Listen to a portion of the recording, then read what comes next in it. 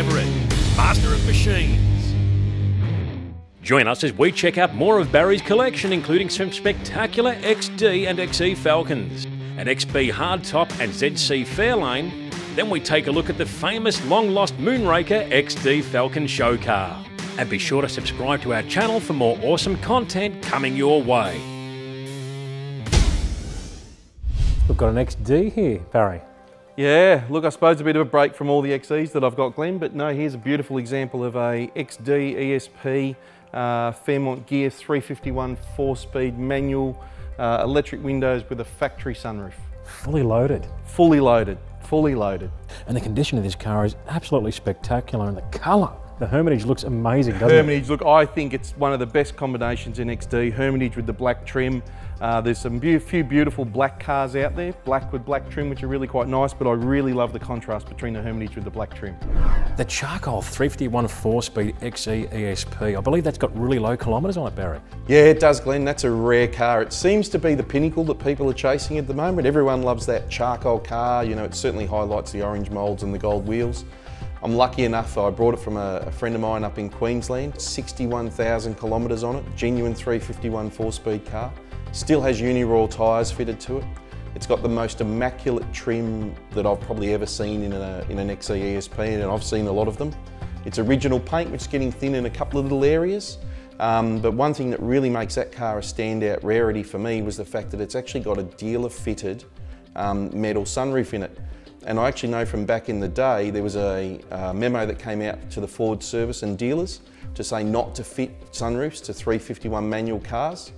So the dealer obviously went against uh, the wishes of Ford at the time and the, uh, the owner's dollar spoke, but I'm lucky enough to have one with a sunroof in it, so it's quite a rare beast. Well, here's something a bit different, a Goss Special.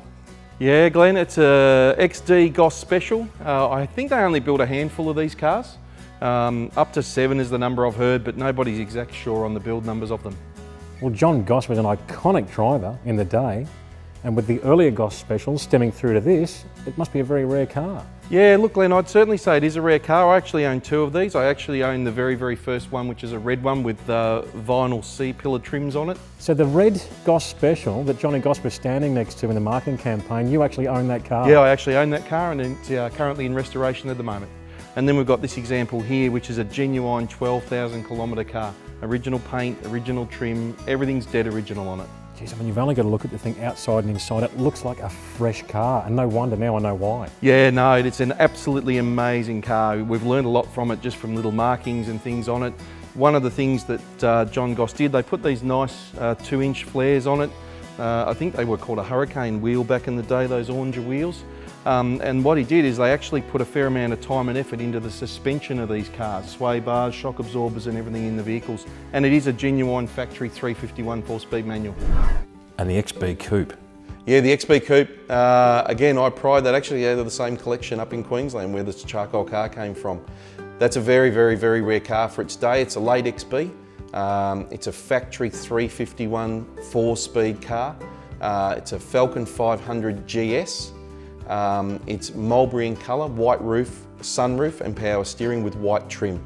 I'm told that back in the day, that would have been a more expensive car to buy than a GT coupe, but that was the time when the insurance companies were putting the pressure on the GT name. So people were going and optioning their Falcon 500s up to the GS, ticking every box on the option sheet and getting around it that way. The ZC Fairlane, those things are an awesome cruiser, aren't they? They're just an awesome cruiser back from the day. I was lucky enough, I've been chasing that car for seven years now. It actually lived next door to my father-in-law. Um, and in essence, the original owner's son still had the vehicle. He actually had an XY GTHO back in the day, and he's, they had twins. So they actually swapped that with the father-in-law's car back to the Fairlane because they could actually fit the double pram into the boot.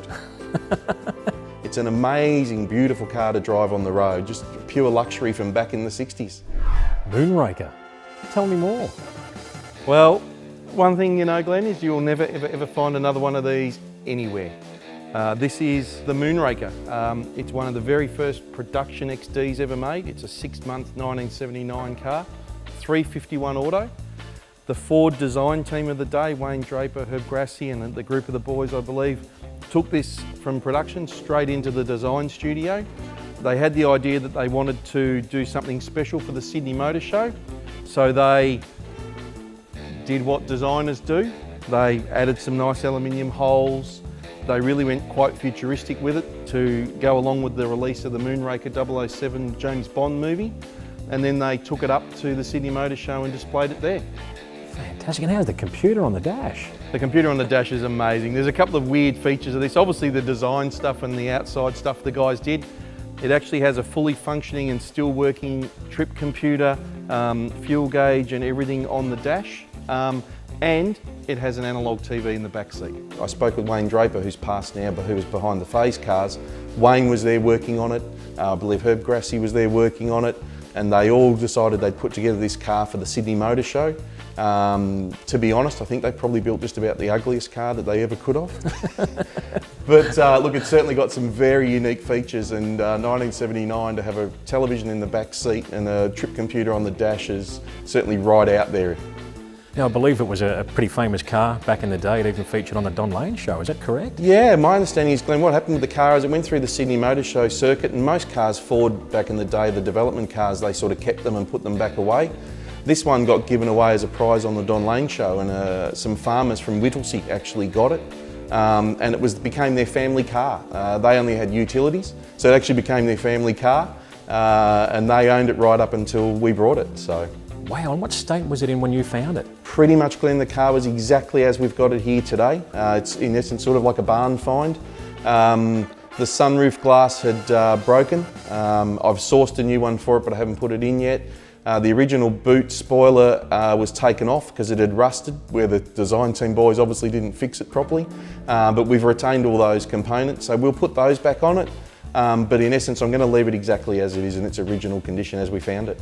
And I believe with analogue TV now gone, the TV doesn't work anymore. No, the TV gets power and it can light up, but uh, maybe we need to find a set-top box and bolt onto the top of it. We missed out by about a year. Missed out by 12 months, for sure.